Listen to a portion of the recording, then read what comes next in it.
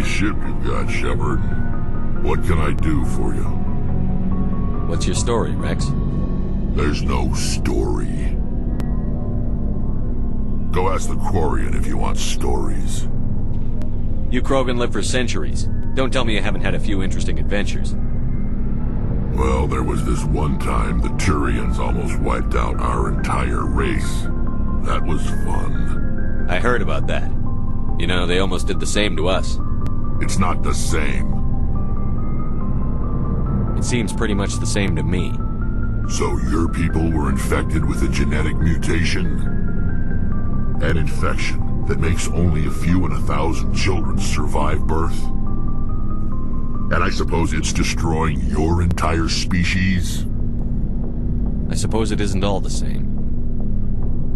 I don't expect you to understand, but don't compare humanity's fate with the Krogan. I was just making conversation. I wasn't trying to upset you. Your ignorance doesn't upset me, Shepard. As for the Krogan, I gave up on them long ago. The genophage infected us, but it's not what's killing us. So long, Wrex. Shepard.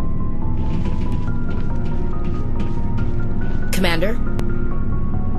Do you have a few minutes to talk one-on-one? I'm sorry, Commander. I need to get my duty squared away. I wouldn't mind talking more later, though.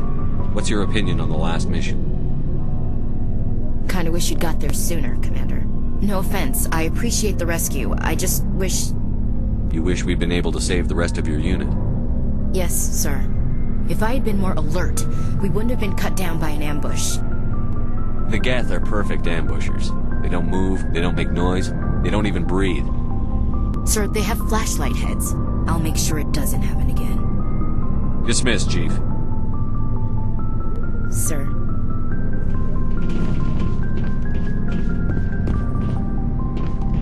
Thanks for bringing me on board, Commander.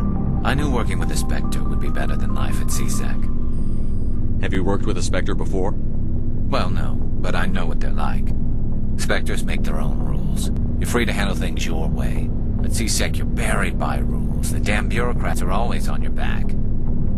For the most part, the rules are there for a reason. Maybe. But sometimes it feels like the rules are only there to stop me from doing my work. If I'm trying to take down a suspect, it shouldn't matter how I do it, as long as I do it. But CSEC wants it done their way. Protocol and procedure come first. That's why I left. So you just quit because you didn't like the way they do things? There's more to it than that. It didn't start out bad, but as I rose in ranks, I got saddled with more and more red tape. CSEC's handling of Saren was typical. I just couldn't take it anymore. I hate leaving.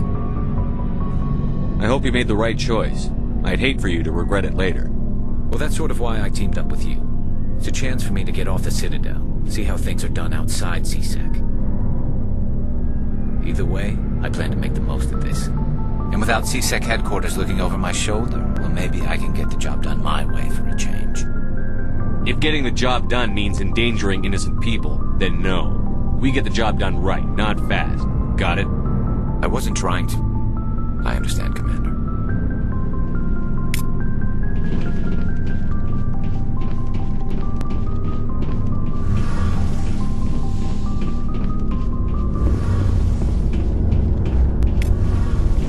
Hey, Commander, you know that Quarian, Tali? She's been spending all her time down here asking me about our engines. I'll tell her to leave you alone. What? No, she's amazing. I wish my guys were half as smart as she is. Give her a month on board and she'll know more about our engines than I do. She's got a real knack for technology, that one. I can see why you wanted her to come along. I figured she'd be a real asset to the team. You got an eye for Tali, Commander, but I'm guessing that's not why you came down here. Carry on, Adams. Aye, aye, Commander. Your ship's amazing, Shepard. I've never seen a drive core like this before. I can't believe you were able to fit it into a ship this small. I'm starting to understand why you humans have been so successful. I had no idea Alliance vessels were so advanced. The Normandy's a prototype. Cutting-edge technology. A month ago, I was patching a makeshift fuel line into a converted tug ship in the flotilla. Now, I'm sitting on board one of the most advanced vessels in Citadel space. I have to thank you again for bringing me along. Traveling on a vessel like this is a dream come true for me. I had no idea you found ship technology so interesting. It comes with being a Quarian. The migrant fleet is the key to the survival of my people. Ships are our most valuable resource. But we don't have anything like this. We make do with cast-offs and second-hand equipment. We just try to keep them running for as long as we can. Some of the fleet's larger vessels date all the way back to our original flight from the Geth. I can't believe your fleet's still using ships that are three centuries old. They're constantly being repaired, modified, and refitted. They aren't pretty, but they work. Mostly. We've tried to make ourselves as independent as possible on the flotilla, grow our own food, mine and process our own fuel. But some things we just can't make on our own. A patch to maintain the hull integrity requires raw materials we just don't have. That's why our pilgrimages are so important. I should go. See you later.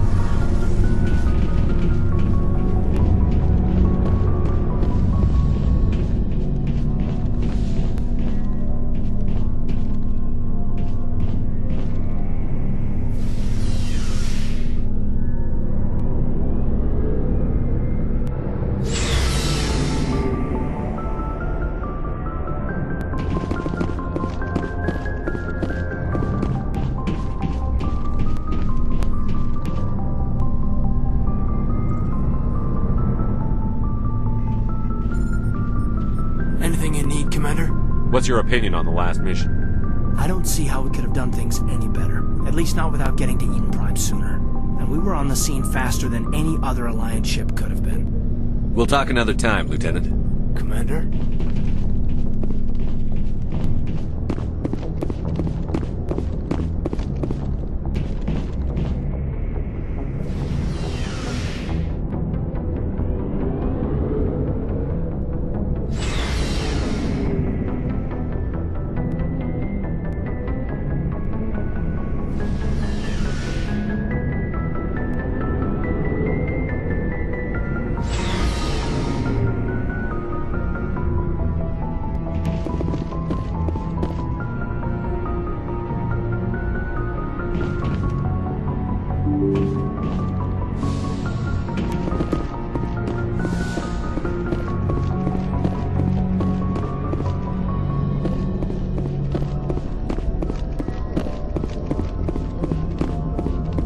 Commander, something you need?